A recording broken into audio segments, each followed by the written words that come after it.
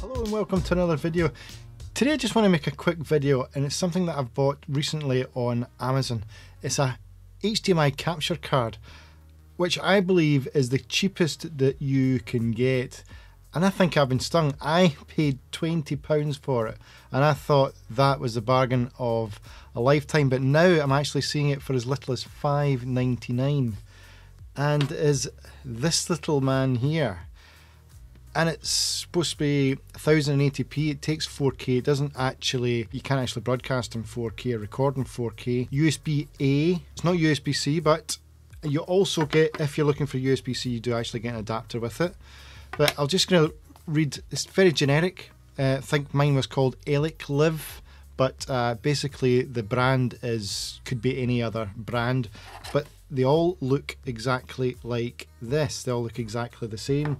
Uh, so it supports resolution up to 4K. Um, input resolution, support output resolution is maximum at 1080p and uh, supports 8, 10, 12 bit deep color, uh, supports most acquisition software such as VLC, OBS at 1080p, uh, supports Windows, Android, and Mac OS. But at the moment, I'm actually using a capture card to record this. I'm using it through Ecamm Live. So I'm going to see if this is any good.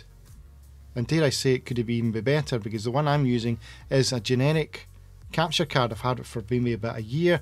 Cost me about £50. Took me about two weeks to arrive. Came from China. I got this within two or three days of Amazon. So let's see if the quality you're seeing now can be improved with this little capture card. I'm just going to plug it in. Never used it yet, so it should be fun. Let's see.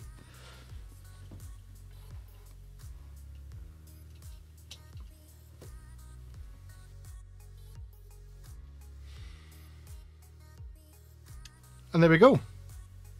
This is it. This, I've just literally just plugged it in. And I don't know if you can see any difference. I'm looking at my monitor now and I don't think I can see much difference at all.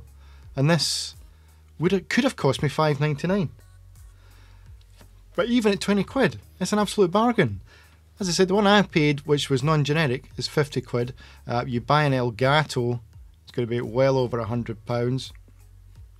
So, if this thing breaks, buy another one. You know, it's not going to break the bank. Like, I mean, I had an Elgato before; it stopped working after about a year and a half. You know, it's well over a hundred pounds.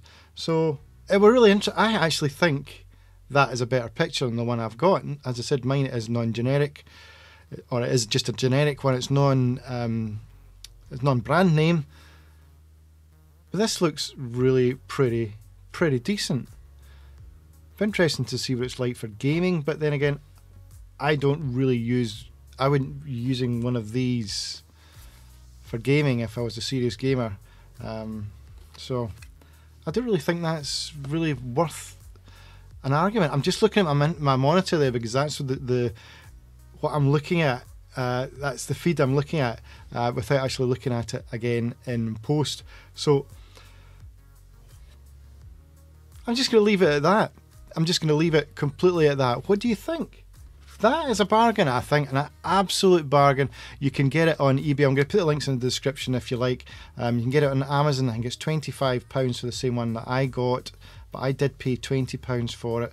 Or you can just get it on eBay for $5.99 or £10, run about that price. Fantastic. There we go. Hope you like this video. If you like it, give a like, and uh, I'll see you in the next one. Subscribe for more.